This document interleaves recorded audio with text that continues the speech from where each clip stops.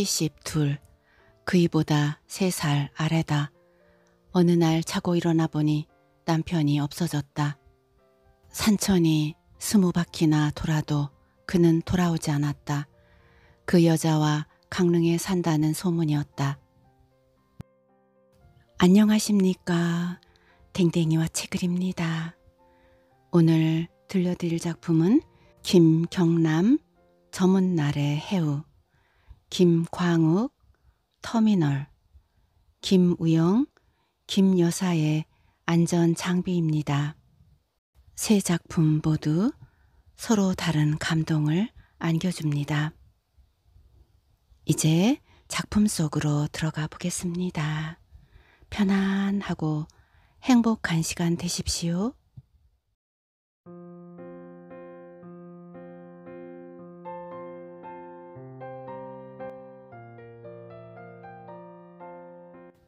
저무는 날의 해후 김경남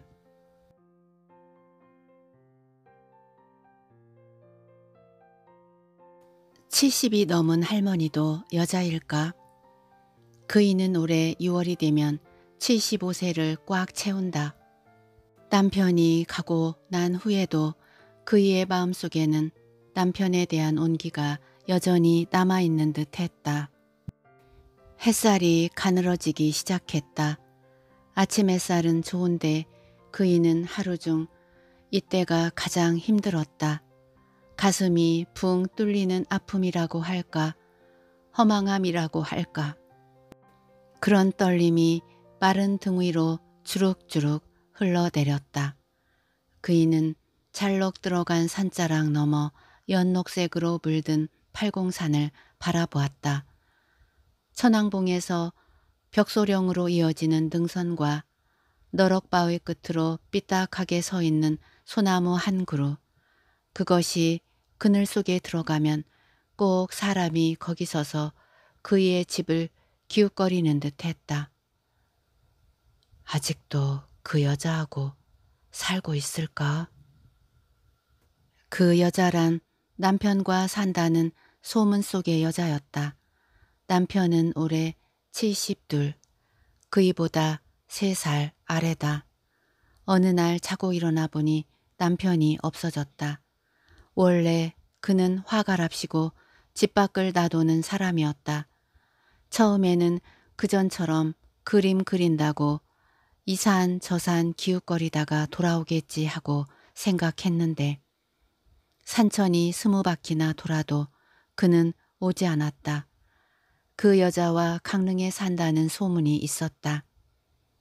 배신감과 질투심에 당장 찾아가고 싶었지만 그이는 참았다. 자기를 지키기 위함이었다. 남편을 만나면 크게 싸울 것이고 영영 그와는 원수지간이 될 것이기 때문이었다. 아들이 죽고 그이가 원치 않는 먼 곳으로 딸이 시집을 가도 그이는 남편에게 찾아가지 않았다. 그이는 혼자서 텃밭을 일구고 산에 가서 산나무를 뜯으며 생을 이어갔다. 멀지 않은 곳에 오빠가 있지만 도움이 되지 않았다. 가만히 있지 말고 남편한테 찾아가. 공자가 말했는데 한 뱃속으로 나온 형제 자매 지간이란 그 사이에 타인이 끼면 역시 남이란다. 못 도와줘서 미안. 어느 날 친정오빠는 홀로 되어 찾아온 여동생에게 은근슬쩍 공자를 들먹이며 편치 않은 마음을 나타내었다. 자기 연민 때문일까 꼬인 생각일까 그이는 적지 않은 충격을 받았다. 그 이후 그이는 특별한 일 없이는 친정에 가지 않았다. 친정에는 선물 들고 번듯한 아들, 딸 앞세우고 가야지. 빈 몸으로 가서는 안 된다고 생각을 고쳐먹었다. 늙어지니 가장 견디기 힘든 것은 애로움이었다. 가난도 가난이지만 심리적인 아픔, 하루하루가 쓸쓸했다. 그저께 김 할머니는 정성껏 캐온 산나물을 팔아 할아버지가 좋아하는 인절미를 산다고 싱글벙글 자랑했다. 김 할머니는 이 마을에서 그이의 집과 가장 가까운 아랫마을에 살고 있는데 산나물을 캐러 가거나 시장에 팔러 갈 때는 그이와 자주 동행했다. 날씨 좋으면 내일 또 산나물 캐러 가야지. 산 아래 김 할머니의 기와집 꼭대기를 내려다보며 그이는 중얼거렸다. 그 사이로 산죽과 소나무, 바위가 잘 어울리는 오솔길이 보였다. 오솔길이 무엇인가 움직이는 물체가 보였다. 아니, 하나가 아니고 둘이 아닌가. 김 할머니의 남편은 다리가 아파서 저녁엔 집 밖으로 나오지 않는데 절에 가는 사람들이겠지. 그런데 움직이는 물체들은 점점 커졌다. 그이의 집과 가까워졌다. 대문 밖에서 멈추어 서더니 그 중 한 사람이 대문 안으로 들어왔다. 산 그늘이 막 내려앉는 마당 한가운데 한 젊은 청년이 서더니 이내 꿇어앉았다. 어무이요, 절 받으시소. 청년이 느닷없이 땅바닥에 머리를 대며 큰절을 했다. 누구? 누가 날 보고 어무이라 카노? 그이가 놀라서 소리치며 대돌 아래로 내려섰다. 여보, 나요. 날 용서해줘. 저 애는 네, 아니, 우리 아들이요. 지 엄마는 벌써 죽고 앞으로는 우리랑 살기로 했소. 우글우글 머리 하얀 노인이 뒤따라 들어오면서 소리쳤다. 늙어서인지 영 달라진 얼굴이지만 넓은 이마에는 남편의 옛 모습이 남아 있었다. 어서 들어오소. 그이는 옛날에 그랬듯이 말하고는 부엌으로 들어갔다. 두 남자를 위해 밥상을 차리기 위해서였다. 이 마음을 뭐라고 표현할까? 용서라고 하기엔 너무 벅차고 이런 마음도 사랑이라 할 수 있을까?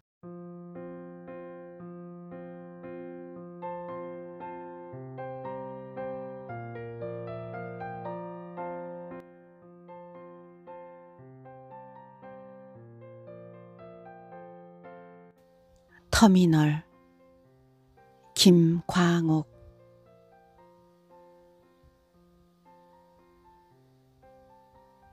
터미널은 큰 길 네거리 한쪽에 있다. 터미널 대합실 출입구는 버스 주차장과 연결되어 있고 건물 기둥이 입구를 가로막고 있어서 얼른 눈에 띄지 않는다.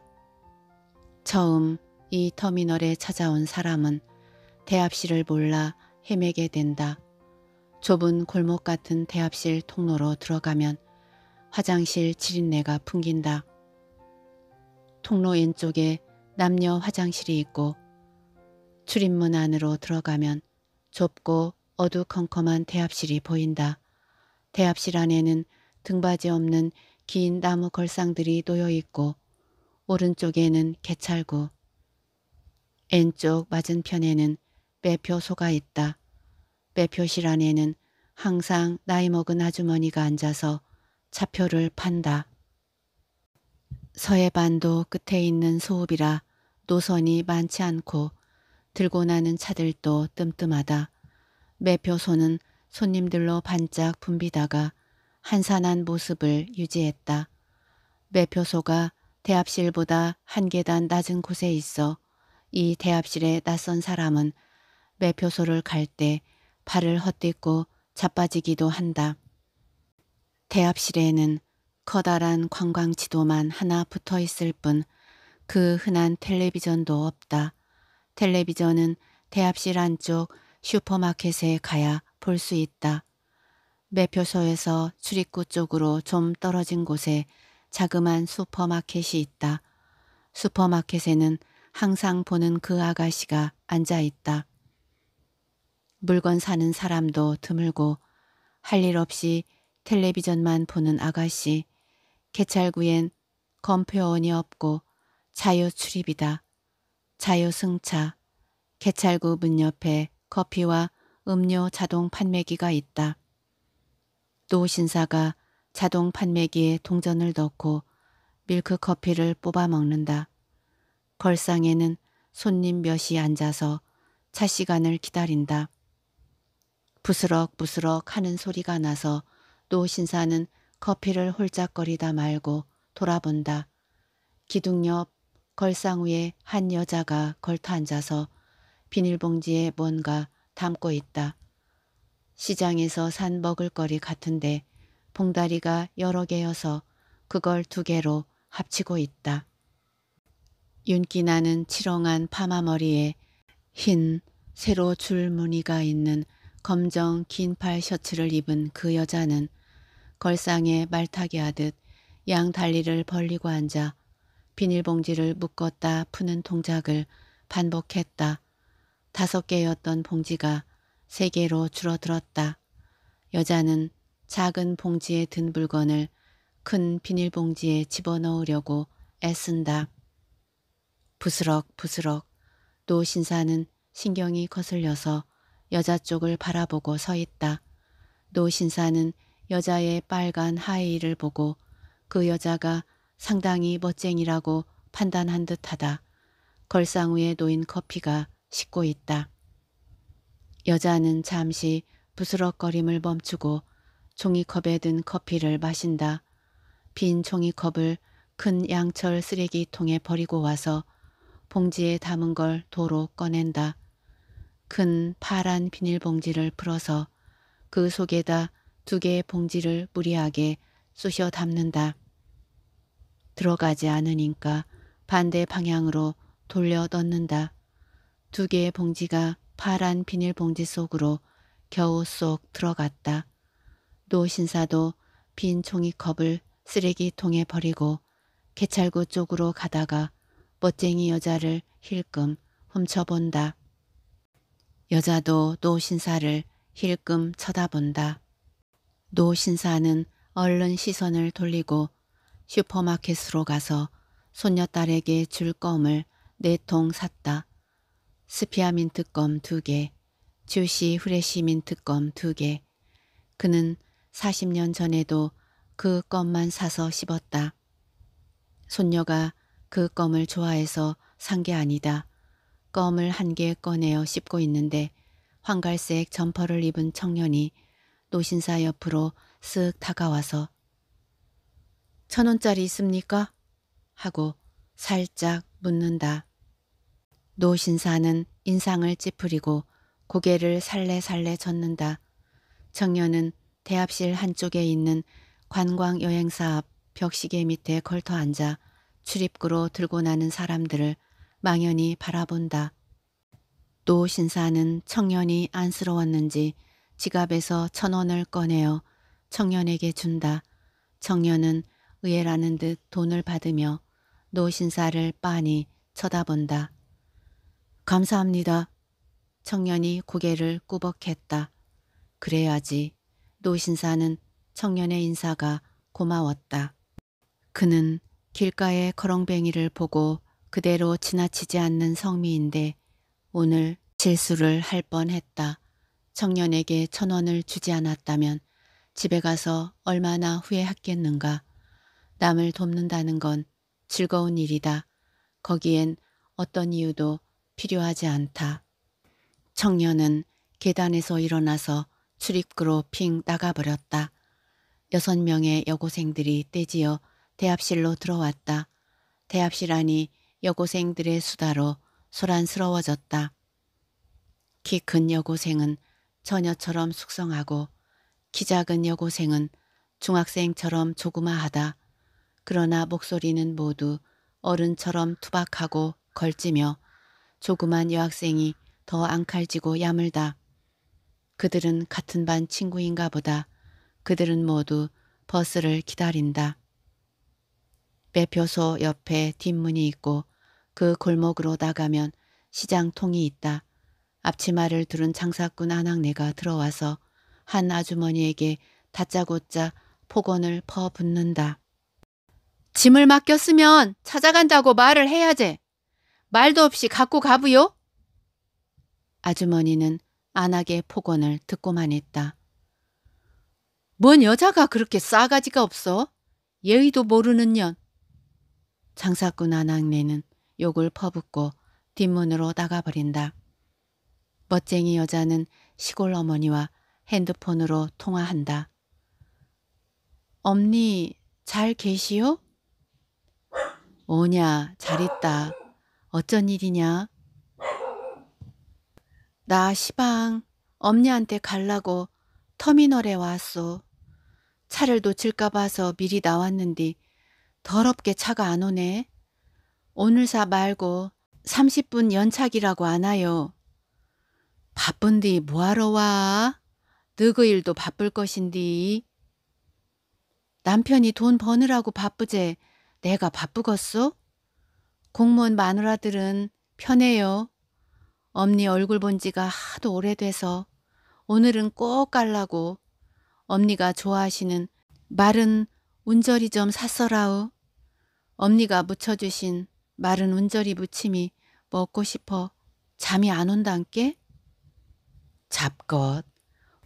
운절이 무침이 먹고 싶어서 그걸 사갖고 애미한테 오냐? 여그 장에서도 그걸 팔더라만 비싸서 못 사 먹었다. 그 비싼 것을 못하러 사? 언니, 여기는 하나도 안 비싸요. 안 비싼 게 내가 샀지. 비싸면 샀겠소? 엄니 닮아서 내가 얼마나 구두샌디 함부로 돈을 씁니까? 엄니, 차가 들어온 곳 같소. 전화 끊을게요. 가서 뵙겠습니다. 멋쟁이 여자는 큼직한 파란 비닐봉지를 들고 개찰구로 나갔다. 여고생들도 다른 버스에 승차했다. 노 신사만 남아있었다. 아직 차 시간이 10분 더 남아있다. 멋쟁이 여자를 태운 버스가 후진하여 승강장에서 빠져나간 뒤 노 신사는 어딘가로 전화를 한다. 뭐? 그 친구가 오늘 죽었다고? 지금 문병을 가는 참인디 그 친구 얼굴도 못 본단 말이구먼. 문병이 문상으로 바뀌었어. 노 신사는 의사의 털썩 주저앉아 대합실 창밖으로 보이는 파란 창공을 쳐다본다. 참 좋은 놈이었는디 저승사자가 너무 빨리 데려가는구나. 살아있을 때 얼굴 한 번이라도 더 볼 것을. 또 신사는 버스가 들어오는지도 모르고 한없이 걸상에 앉아 있었다.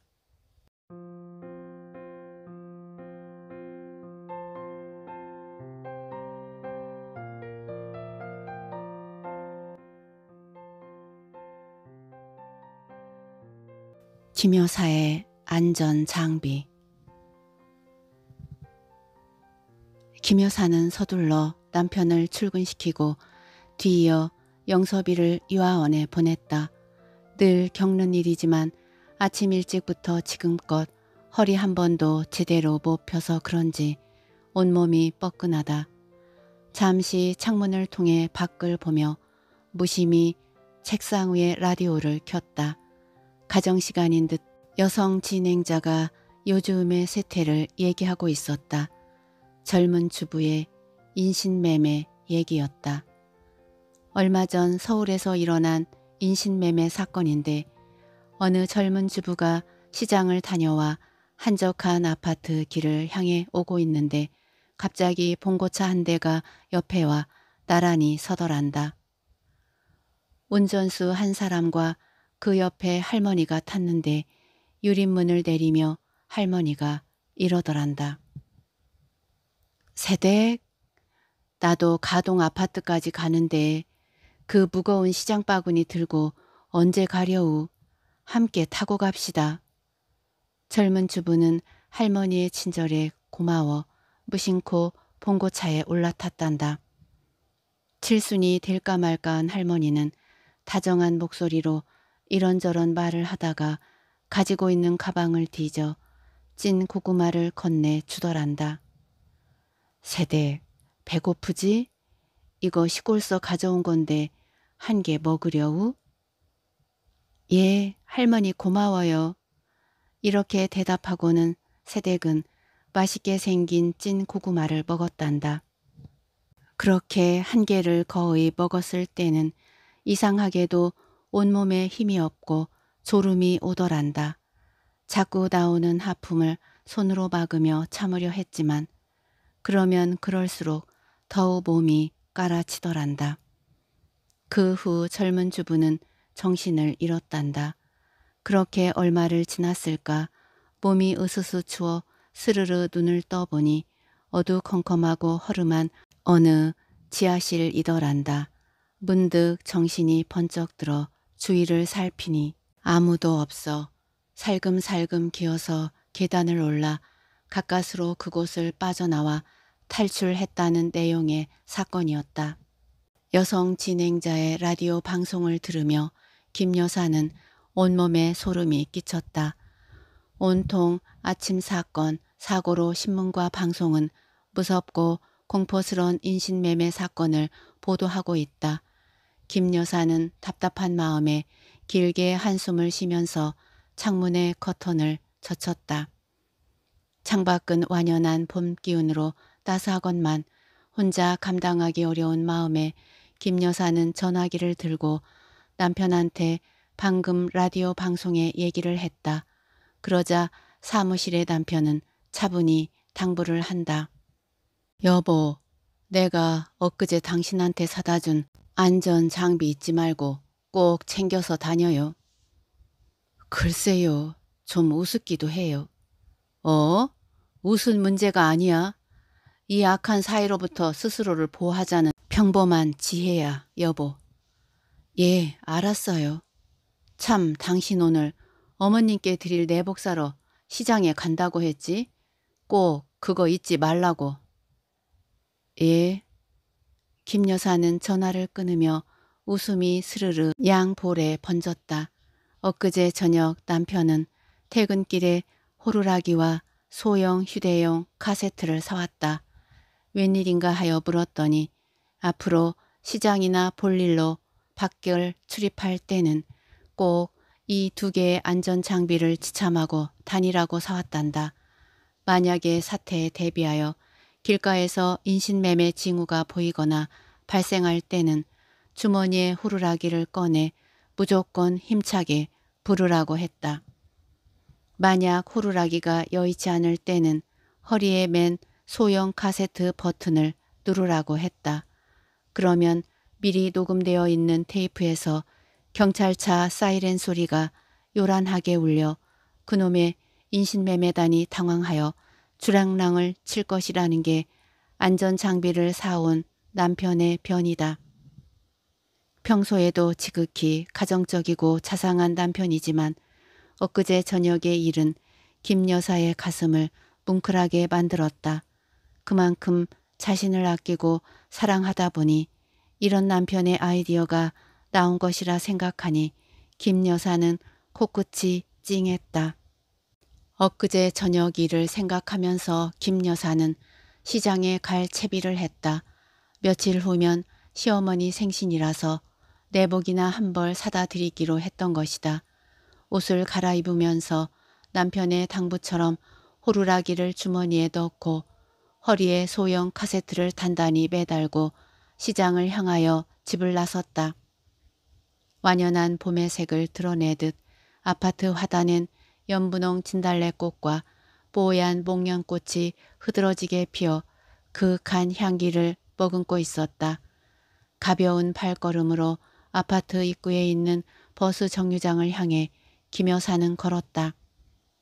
오전 시간이어서 그런지 주인은 인적이 드물고 한적하였다. 정류장 버스 노선 표지판을 한참 보고 있는데 갑자기 푸른색 봉고차가 끼익 브레이크를 밟으며 김여사 앞에 덜컹 멈췄다. 그러더니 봉고차 출입문 유리창이 스르르 열리더니 젊은 운전수는 웃고 있고 그 옆으로 어느 할머니가 어서 타라며 손짓을 한다. 김 여사는 갑자기 집에서 라디오 방송을 들었던 광경이 떠오르고 하늘이 노래졌다.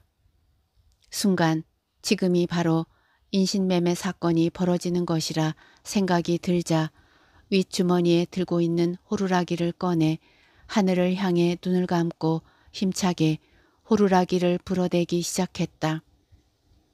호르륵 호르륵 호르륵 호르륵 그렇게 정신없이 서서 약 5분 정도 불었을까 입에 침이 마르고 힘이 빠졌다.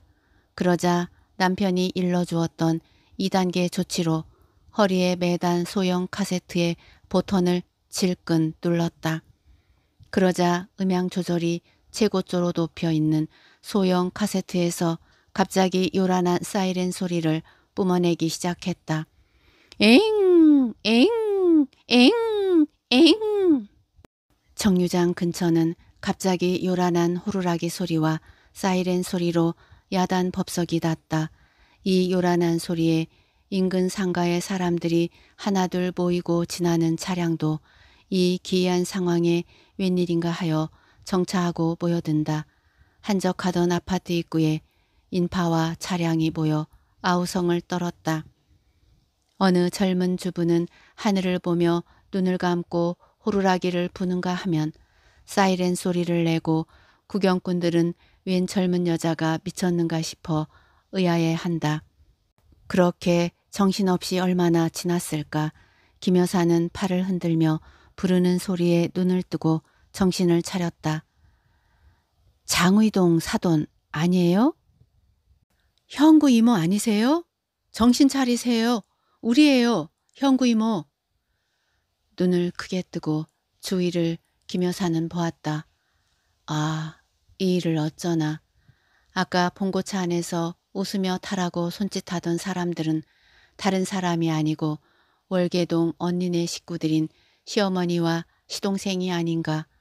아뿔싸 언니네 시동생은 월계동에서 미술학원을 하는데 아이들을 태우러 가는 길이었고 사돈 어른인 시어머니는 종암동 한약방을 가는 길이었다니.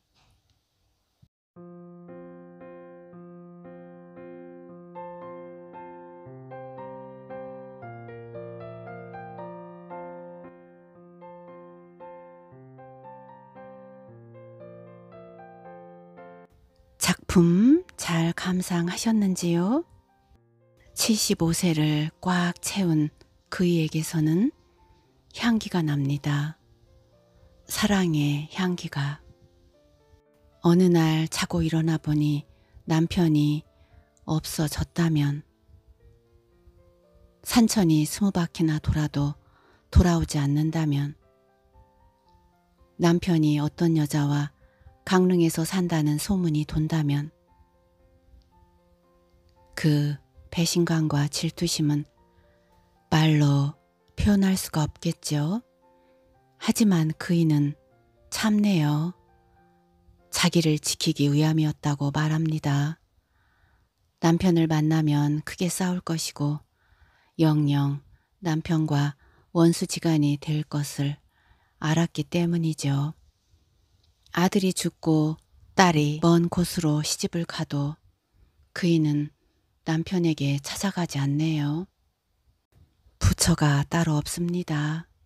다 늙어서 머리 하얀 노인이 돼서 다른 여자와 낳은 아들을 데리고 집으로 들어오는 남편을 어서 들어오소 하고 받아들이며 부엌으로 들어가는군요.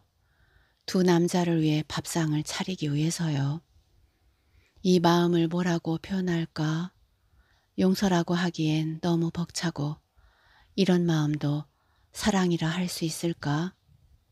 암요, 진정한 사랑을 보여주고 있습니다.